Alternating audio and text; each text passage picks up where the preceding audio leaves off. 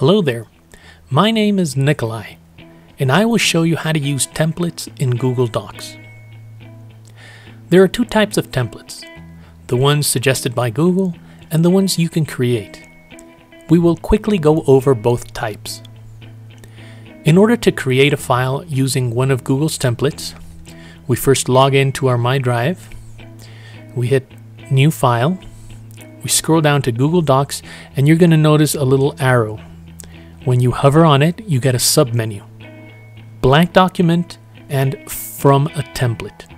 Let's go ahead and click from a template. What you see loaded here is the template gallery. These are the ones that Google suggests and groups by categories. For example, resumes, letters, work, education, etc. So let's go ahead and pick any one of these for example, this one with the picture. This template is a project template. You can now go ahead and change this to whatever you like.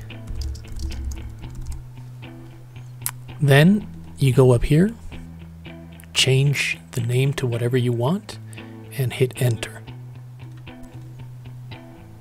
You can see here the project that you had.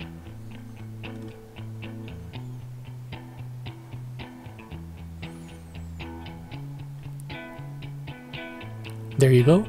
You see this file here. Now, for example, what if you have a document that you wish to use as a template? For example, let's change this image. Let's add my logo. And let's say this is the cover letter you want to use for all your projects. So I'm going to change the name just to project Hit enter. Now, how do I use this as my personal template? Well, so I go back to my page, to my main folder, and I'm going to see this is the project template I wish to use. So I right click on it and then make a copy. This will create a new instance, as you can see, copy of project template. If I open that up, as you can see, I have the template I saved previously. Now I can just change the name here. And there we go. That served as my template. Hope this helped. Please remember to subscribe and share this video if you found it useful. Have a good one.